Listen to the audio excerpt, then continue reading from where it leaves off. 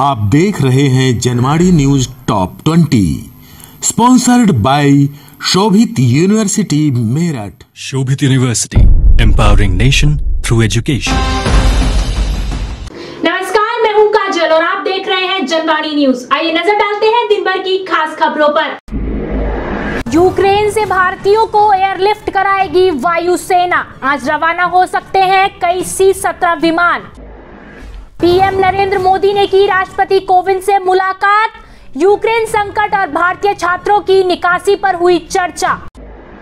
Ukraine संकट के बीच दूतावास ने जारी की एडवाइजरी कीव शहर से किसी भी हालत में आज बाहर निकले भारतीय छात्र। आर पार की जंग के मूड में है रूसी राष्ट्रपति पुतिन।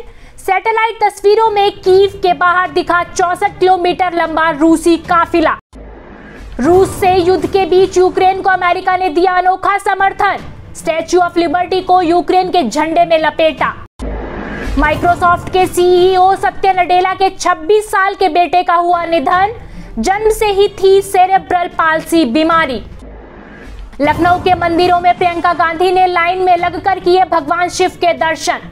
शिव मंदिरों में उमड़ा आस्था का सैलाब।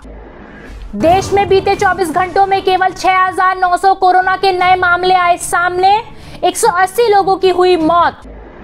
पश्चिम बंगाल के राज्यपाल जगदीप धनखड़ से मिलने राजभवन पहुँचे मुख्य सचिव। विधानसभा सत्र के समय को लेकर होगी चर्चा।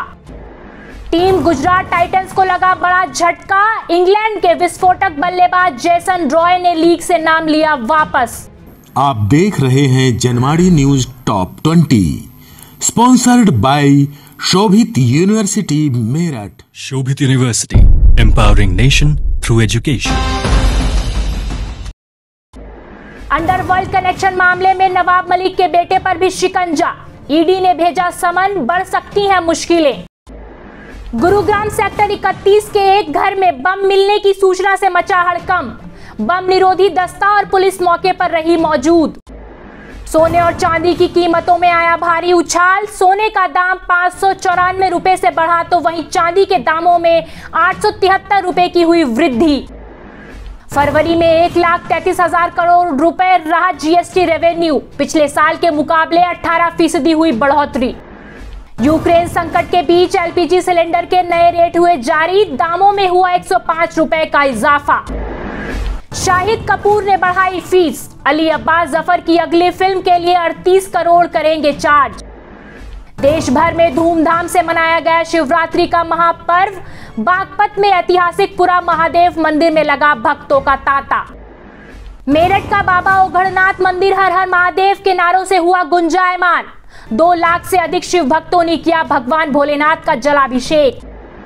सीबीएसई के सरकारी स्कूलों में दसवीं बारहवीं की प्री बोर्ड परीक्षा 10 मार्च से होगी शुरू। दो शिफ्ट में कराए जाएँगे एग्ज़ाम। आईआईटी के वैज्ञानिकों ने किया बड़ा दावा। 22 जून से शुरू होगी कोरोना की चौथी लहर।